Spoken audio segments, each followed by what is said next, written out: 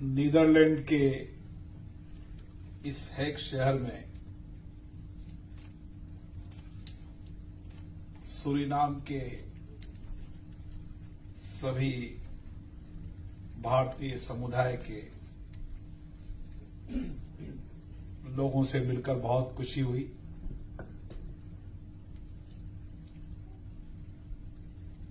और खुशी ज़्यादा इसलिए हुई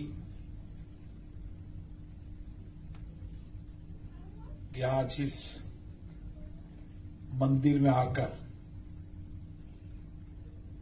जहाँ गणेश जी की स्थापना हुई, अभी हम कृष्ण जनोत्सव मना रहे हैं पूरे देश में। और भगवान श्री कृष्ण के उपदेश, उनके ज्ञान,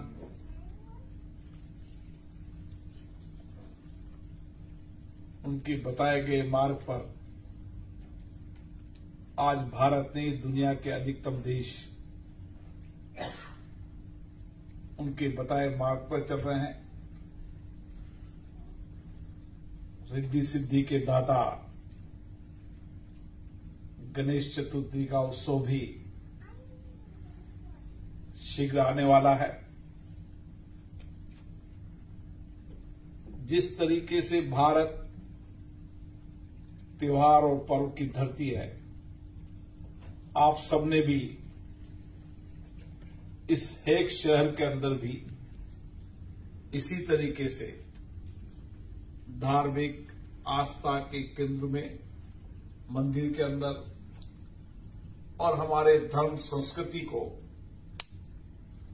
अपनाकर यहाँ पर भारतीय संस्कृति के राजदूत के रूप में आप इस देश के अंदर आध्यात्मिक धर्म और संस्कृति से मानव जाति को सकारात्मक संदेश दे रहे सही कहा पंडित विकास तिवारी जी ने। रविंद्र बलदेव जी, परशुराम जी, परमा रमावतार जी, रामलाल जी, नौजवान लीडर हमारे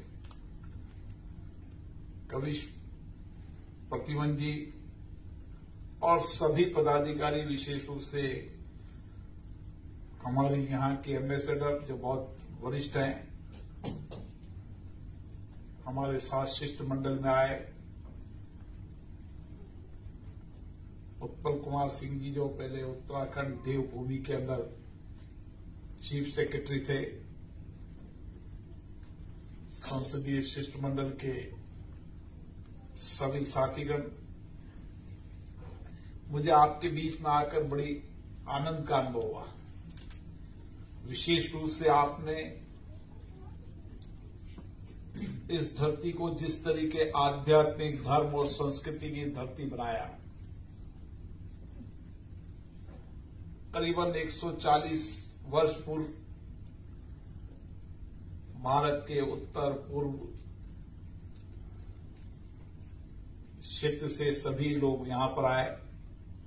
विशेष रूप से सुरीनाम में आए। सुरीनाम के बाद नीदरलैंड में आए। और कई पीढ़ियाँ गुजरने के बाद भी आपने भारतीय सांस्कृतिक आध्यात्मिक ज्ञान का संदेश अपने लोगों के बीच में भी और विश्व के उन देशों के अंदर भी, जहाँ जहाँ आप पहुँचे, आपने भारतीय संस्कृति आध्यात्मिक ज्ञान का संदेश पहुँचाया दुनिया के अंदर भौतिक परिवर्तन बहुत हुए कई दुनिया के अंदर कई देश भौतिक विज्ञान के अंदर हमसे आगे होंगे। लेकिन जो शांति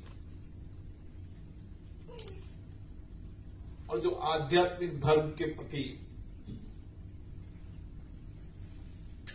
आज भी आकर्षण है, वो भारत में है। क्योंकि दुनिया ने भौतिक सुविधाओं से विस्तार तो बहुत किया है। लेकिन भौतिक सुविधाओं के साथ अगर आध्यात्मिक धर्म और संस्कृति का ज्ञान न हो तो वहाँ पर तनाव की स्थिति रहती है, अवसाद की स्थिति रहती है। भारत में हम अत्यधिक धर्म आस्था अपने अपने धर्म की पालना का, पालन करना, उसकी पूजा अर्चना करने का एक स्वतंत्र अधिकार दुनिया के अंदर है तो भारत में जहाँ सब लोग अपनी धर्म विधि विधान से पूजा करते हैं। और सभी धर्म व्यक्ति को सत्य के मार्ग पर सत्मार्ग चलने की प्रेरणा देते हैं।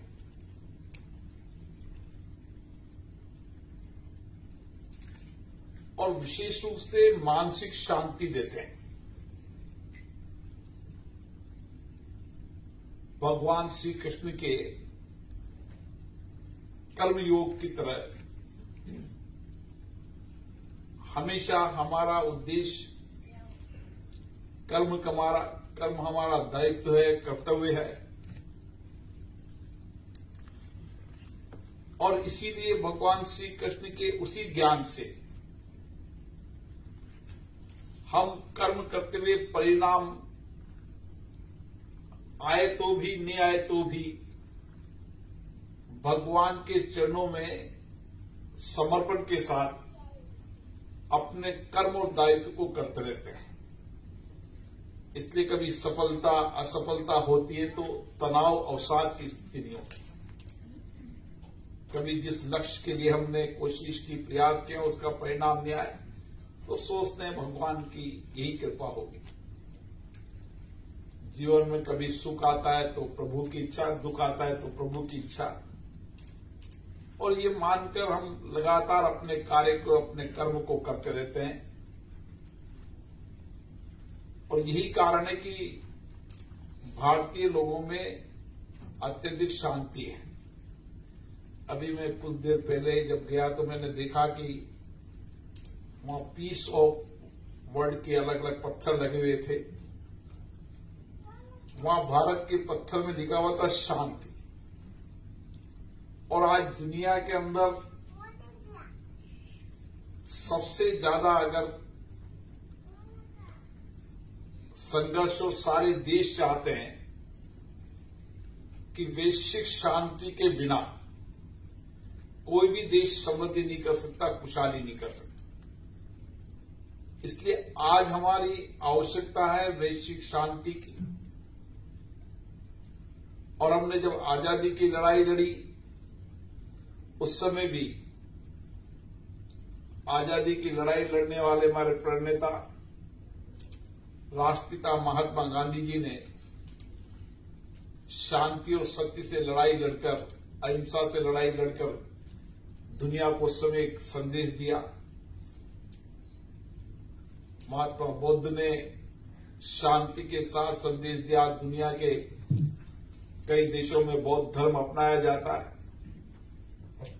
तो हमारी संस्कृति में, हमारे संस्कारों में ही शांति और अहिंसा है।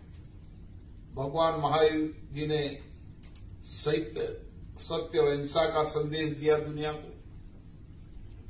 और इसीलिए आज आवश्यकता वर्तमान में है कि हम किस तरीके से वैश्विक शांति, स्थिरता से अपने अपने देश समृद्धि करें, खुशहाली करें। मुझे खुशी है कि आप सुरीनाम से यहाँ पर आए, लेकिन आपकी कड़ी मेहनत कर्मठता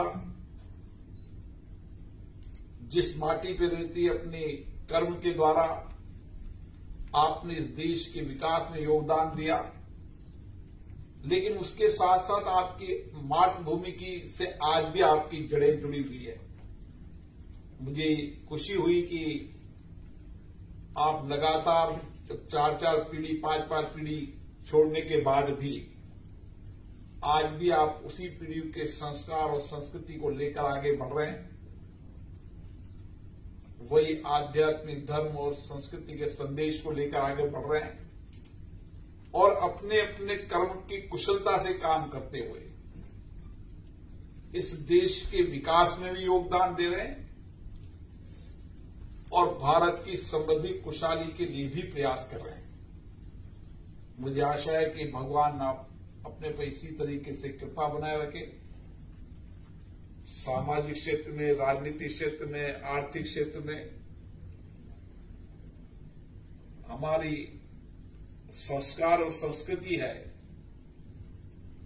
मानवता सेवा और दुनिया ने कोरोना महामारी के समय देखा है कि किस तरीके से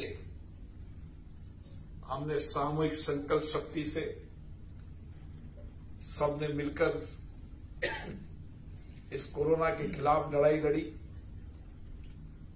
वसुदेव कुटुंबकम की भावना से इस वैश्विक महामारी में हमने संपूर्ण विश्व को अपना परिवार मानकर जो कुछ भी भारत से संभव हो सका उसके लिए अन्य देशों के लिए भी सहयोग किया। और आज भी हमारा मत ये है कि सब देशों में स्थिरता रहे, शांति रहे, सब देश समृद्धि करे, खुशहाली करे, नए इनोवेशन नवाचार करें, जो देश प्रगति करेगा, विश्व की प्रगति होगी तो संपूर्ण देश की अपना प्रगति होगी। और यही हमारा संकल्प है, हमारे प्रधानमंत्री जी का निकट का संबंध नीदरलैंड से, सुरीनाम से। जब मैं सुरीनाम आ रहा था तो प्रधानमंत्री जी ज़रूर कहा कि सुरीनाम में बड़ी मात्रा में भारतीय मूल के लोग रहते हैं, जो आज भी अपनी भाषा से, अपनी संस्कृति से, अपने धर्म से वहाँ रहते हुए भी भारत की जड़ों से जुड़े हुए हैं, भारत के आध्यात्मिक धर्म, संस्कृति से जुड़े हुए हैं। और मैंने आज यहाँ पर देखा कि किस तरीके से पंडित विकास तिवारी जी और अभी अभी बनारस से आए संतोष जी ने यहाँ पर बड़ी आध्यात्मिक रूप से लोगों के बीच में धर्म का प्रचार किया। और भारतीय संस्कृति और धर्मी सत्य के मार्ग पर चलाने की हमें दिशा देती है। मुझे आशा है आप सबके प्रयासों से इस देश में भी इसी तरीके की संस्कृति, संस्कार को आप लेकर चलेंगे, ताकि सभी जगह शांति, स्थिरता बने रहे, सब समृद्धि आए, खुशहाली आए, और सभी देश के लोग आगे बढ़े। आप सभी को बहुत बहुत शुभकामनाएँ। जय श्री कृष्णा।